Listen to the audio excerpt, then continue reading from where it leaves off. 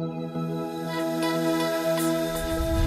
everybody, it's Zeus Kerravala from ZK Research with Will Townsend. We're at Fortinet's headquarters and we're here for What's New in Security. I think this is episode three. I think it is. Yeah, so we just wrapped up our Analyst Day uh, with Fortinet. It's, uh, it coincided with their 25th uh, anniversary, so Happy birthday, Fortinet. yeah, so they turned 25. Uh, and let's talk about what we heard here. Uh, you know, Fortinet's an interesting company, probably one of the more underappreciated security companies. Yeah. Uh, well, and even calling them a security company in a lot of ways is incorrect. While they build security products, It's secure networking. Yeah, right? they also have a full line of networking products and other things that you wouldn't expect. yeah, yeah. Yeah. Now, um, I think maybe a good place to start is what has been their competitive advantage for years, which is price performance, driven Right. by the fact that they create their own silicon. And so Yeah. they didn't. They talked a little bit about that, but I actually think that that is something they should talk more about. I agree. And uh, you know, what do you think of that strategy of? Because most vendors use merchant silicon, layer on software, Yeah. but they build the whole stack. Right. Well, you know, by leaning into custom silicon, it provides a competitive advantage. Um, you know, we learned this week that it's about you know um, performance, it's about power efficiency, um, and it's also about programmability. Zaya. So um, it just provides, you know, from my perspective, future headroom for additional capabilities. Yeah, and what I like about the silicon strategy is if you look across any industry, right, you look at why the GPU exists, Yeah. right? Because custom or uh, off-the-shelf silicon, and in fact, uh, uh, Jensen always jokes about this. It runs Word fine, right. But uh, if you're going to do any kind of an accelerated computing, you need something with a little more horsepower, Purpose built. purpose right? built, right? And that's and so you could argue that there's no workload that's more processor intensive than security, Right. except maybe AI Yeah. uh, although AI for security. Yeah. Um, and uh, and you know from that perspective, I think um, the ability to create your own silicon, loaded up with the features you want, Right. um, uh, brings that price performance, but also creates and because Fortinet for the most part builds all their own products, Yeah. you wind up with a very consistent set of features mm-hmm. across all those products. And I think that's another interesting aspect as well, because most of the other broad security vendors have built their portfolios through acquisition. Yeah. And so over time, they integrate these things together. Right. But there's always a period of time where you're trying to put them together that you don't actually have, you know, that unified story. Yeah, you know, and that requires refactoring and, and whatnot. And, you know, Fortinet has acquired companies over the years, but there's been a very discreet focus on organic roadmap development. What I really came away from this week uh, with a better appreciation is how, with like the FortiGate, you know, fire, you know, uh, Fortinet is known for its firewall, but with the FortiGate, they can move customers down a continuum of different services, starting with you know, ZTNA and then moving into a unified SASE solution and really reducing that friction for customers and, and you know, delivering more value for their customers as well. Yeah, and so let's uh, you know pivot the discussion. So the the the silicon is the foundation. The products, Yeah. I think, you know, they like the other broad-based security vendors have been pushing this concept of platformization Mm-hmm. of security or the security platform in which you can consolidate mul- multiple functions into you know a, a service or a box or whatever, and they use the FortiGate for that. Yeah. And um, you know, I think over the past, uh, you know, since since the rise of AI, I think this concept of of uh, platforming security has really shifted from something that was maybe a nice to have, Mm-hmm. because you could, you know, companies have managed to muddle their way through a bunch of point products Right. to something that's a need to have because the complexity that AI brings. I- I don't know if you can cobble it together anymore. No, I, I don't think you can either. And you know, you touched on this uh, the tool sprawl issue.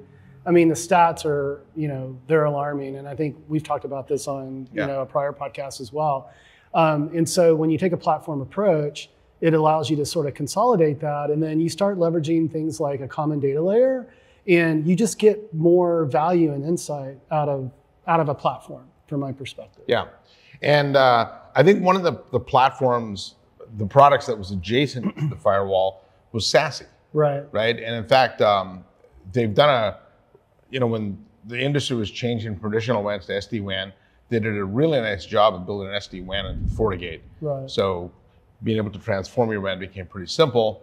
And then, of course, if you're going to play an SD WAN, then you of course need the security tools Yep. or the SSE stack right? To get to SASE. to get yeah. to SASE. Yeah. And but their approach to SASE is a little bit different than what you're going to see from everybody else Yeah. because it's a hybrid SASE strategy in which you can run the SASE services either in the cloud Right. or on-prem. On-prem, yeah, yeah. And that has not when you think of just if somebody were to ask you what is SSE, Yeah. a lot of people will tell you it's cloud delivered security. Right. But it's actually a set of capabilities like SWG and CASB Yeah. and things like that, Z- Yeah. zero trust. It doesn't, the, nowhere in any definition I've seen does it say it has to be in the cloud. Sure. And these guys have leveraged it on prem. So, Yeah, Yeah. yeah, you know, and would you want to run it both on-prem and in the cloud? I don't know. I mean, with the trend uh, around modern AI uh, workloads and applications, with some very highly regulated industries to bring Yeah. that on-prem because you don't want that that data traversing the cloud, nor do you want to pay for the egress um, to do that. It makes perfect sense, right? So I think the timing for their architecture. Um, I mean, to your point, it's been around for a while, but it's becoming even that much more relevant given where modern AI is driving things. yeah, well, this is where it comes down to use case. Okay, so Yeah. are you going to want to run your uh, SSE services in the cloud uh, or on prem? Well, if you're a retailer, or sorry, if you're like a, a retailer with a bunch of off, a bunch of small branch locations with one or two you know devices in each location, no, you're going to run that out of the Right, cloud. right. But if you're a manufacturing company Yep. with a bunch of you know machines, uh, autonomous machines, and a bunch of data, and you're in a regulated vertical that requires uh, you know your data to be you know kept sovereign, that's Yeah. when you'd probably run it on prem. And so Sure. what what Fortinet gives is some choice to their customers, and I think that's important. So if you are the type of company that you know for whatever reason wants more control over your data, and I'm not saying it's more secure, Yeah. because the cloud systems are secure. I'm just saying you have Sure. more control. Yeah. Then you're better off running it on prem. Yeah, no, I totally agree. You know, and, and one of the use cases that I was really, you know, impressed with was what the company is doing within IoT uh, in manufacturing. And OT, yeah. It's a highly fragmented market. You've got a lot of different, you know, vendors. You've got embedded products. You've got just a myriad of products. And for many, many years, there's been a lack of standardization. Um, and Fortinet's been doing this for quite a while, but they're they're working with you know an ecosystem. Um, they've identified you know basically the protocols that are required to manage the security of like. And when I and I asked you know the the, the, leadership here, like 95% plus of, of the security of, of all of these you know very disparate devices and um, I think it's one of their best kept secrets, man. I mean, I you know this is my first visit to headquarters, and uh, I was really blown away by that. So I'm I'm probably going to be writing that up in the near term. Yeah, in fact, the headquarters actually has a, a bunch of um, different rooms that show you different use cases. Uh, OT, IT, Yeah. uh, IoT, uh, retail, healthcare, things like that. And and the OT, uh, IoT one was pretty impressive, and it does show you just it's how different the vendors are that serve that space. Yeah. Um, in fact, uh, it's funny. The guy who was giving us the presentation said a lot of these OT devices will live for like 20 years Yeah. right? And it's not like, and they're critical systems. Sure. So it's not like you can apply security patches and reboot the thing. Right. So the ability to be able to deliver security from the network Yeah. becomes mission critical to that environment. And, and that's an area, for whatever reason, uh, a lot of vendors don't focus on. Yeah. And I think because it's hard, Yeah. you got to yeah. build all your systems to be fanless. Right. It's not traditional rack mount systems. Exactly. Right? You've got different ways to like Yeah. hang these things. You've got environmental, you know, concerns that you have to deal with as well. So yeah, it's it's a Yeah. very unique environment when you look at OT. Yeah. Now, uh, one of the other areas they spend a lot of time talking to us about was the SOC tools. Right. And again, when you think of Fortinet, most people You don't think you don't think of that. no. You think of FortiGate, firewall. Yeah. You know, maybe SASE, certainly SD WAN now. Right, right. But when it comes to SOC, SIEM and SOAR, that's a whole different group of companies. Right. I think they've uh, um, they've got an emerging solution. They do. Uh, in some cases, they did talk about displacing some of the, the leaders. Um, I think if you're a really, you know, heavy, uh, you know, SIEM shop that diagnoses a bunch of data and things like that, you're probably going to stick with your solution. But for a lot of organizations, I think what Fortinet delivers actually is a very good solution. Yeah. No, I, I agree. And traditionally, the company's been very focused on the mid market. Yeah. They've been moving up, you know, over the years. What I really liked was what they're doing, you know, potentially with SOC as a service to, to kind Yeah. of cover that, that mid market type customer. I actually think the the mid market's a real sweet spot for them because um, that isn't when you think of the traditional vendors in SIEMs or you know Splunk and QRadar Yeah. and things. They have focused very large enterprise. They do, yeah. right? And uh, uh, they've got all the integrations with a lot of the other data Mhm. players, but serving the needs of the big market is a much different animal. You, you need a lighter weight product, Yep, you know, better interfaces, things like that. And so that's something I think that's been an underserved area for a long time. I think so too. And again, from my perspective, you know, another one of their best kept secrets. So Yeah, well, it seems like there's a lot of those. there's a lot of those. So Yeah. we're trying to address that, Yeah. you know, on behalf of Fortinet. Yeah, and the last area to maybe talk about is just is AI, right? And uh, uh, obviously, there's two aspects that all securities play. Yeah. vendors play. There's AI for security. Yep. So that's being able to help companies um, uh, secure the use of AI within the Mhm. organization, and then there's also AI for security. Mhm. So using AI to improve security operations. Yeah. And uh, was there? Did you see anything you liked there? Yeah, like uh, the AI assist. I like the fact that they didn't call it a co-pilot. Yeah. Number one, so that that that whole notion of reducing the friction, providing a natural language interface, ensuring that a human is in the loop, I felt was was really powerful, and it plays really to their strengths when you when you historically look at what they've done with secure networking. Well, and here is where um, it is going to take them to, you know, perhaps up level their marketing and, Yeah. and things. Because I do think when you think about the effectiveness of AI, it comes down to what? The data that you have. Right. Right.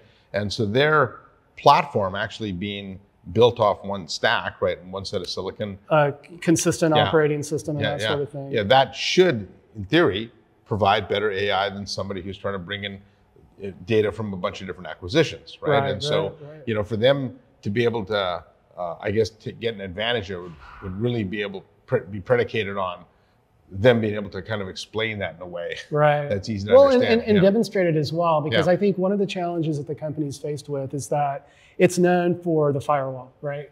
And um, and to your point, um, and we've spent some time, you know, with uh, with the, the the most recently appointed CMO here, um, Jamie. Jamie, yeah, um, that you know there, there's a there's a concerted focus and effort to go to go tell that story, uh, to work with analysts like you and I, um, to help you know tell that story as well. So um, I think we can expect some pretty good things from the company moving forward. Yeah, well, certainly I think I've, you know, I've followed Fortinet for a long time and I've seen a lot of starts and stops where Yeah. they start pushing a message and then they move on to the next thing. And I think the company has historically operated on the fact that if you build really good products, which they do, Yeah. the customers will come. And you can't argue with that. I mean, they've got almost a million customers. Right, Right. it's crazy. So, it's like yeah. eight hundred and ninety thousand. And Yeah. like, I mean, did you Well, did you add a zero? I think they said it's over nine, 900 now. 900,000 Yeah, now? since they Yeah. updated the slide. Yeah. And uh, they're 55% of the world's firewall. So Right. obviously building good products does lead to success. Uh, where I'd like to see them go now is actually, you know, becoming a real thought leader in security. Right. Not just through building good products, but being able to take that message they have and articulate it externally. Yeah, you Yeah. know, and and focus on the business outcome because you know the time that we spent with uh, with the management team this week, um, there was a lot of product slides, right? And and I think Jamie understands that as well. And I think for them to sort of move beyond, you know, that sort of you know that engineering mindset, they need to really focus on business outcome. And we saw a little bit of that uh, while we were here this week, but I think that is an area of opportunity for. Mm-hmm. Well, where I think they did do a good job of that is um, presentation after presentation, the, they back ended it with customer example after customer example. Sure. And I thought those were very good to see kind of the ROI the customer got, the amount of time that they saved because of the platform, things like that. And so now a lot of those were obviously NDA, Mm-hmm. Yeah. but being able to tell those stories, I think Yeah. really helps other companies like them understand the value that Fortinet brings. Yeah, and I think you know you mentioned NDA. I mean, as analysts, you know we're, we're often you know disclosed on on roadmap, and there are a lot of things that we can't talk about. But I will say one thing: what I saw that's going to be sort of rolling out in the future, I think is going to provide a lot of uh, a lot of tailwind, you know, for Fortinet Yeah. to, to go capitalize on some of the things that we've been talking about today. Yeah. Well, just from an overall market perspective, right? We when you look at the audience that was in NVIDIA's GTC event this week, right? It's Yeah. everyone's Yeah, and you were you were there in Yeah. DC, right? Yeah, everyone's interested in AI. I think now that AI is starting to hit that inflection point, we're moving to from pilots to production. Now you have to start worrying about things like how do I manage my data? Yeah. How do I secure my data? Yeah. So How do I secure the usage of AI? so this uptick that we've seen on this compute side, Mhm. I think really hasn't hit network security yet. I agree. And so if you believe that they're both an important part of the overall AI ecosystem. Mm-hmm. I think you know we are going to see security, you know, create a rising tide for all the vendors. The question is, can Fortinet actually grow from that tide disproportionately? Right. They certainly have the product to do it. Now, They do. Now it's going to be interesting to see if they have the go-to-market to do it. Yeah. Yeah. It will be interesting. Yeah, So, so- all right. All right. Anything else you want to add? No, I think that's it. I All think right. we covered everything. So until I guess the next place I see you, yeah. on behalf of Willem, Zeus Kerravala, thanks for watching. Why don't you give us a like and hit that subscribe button?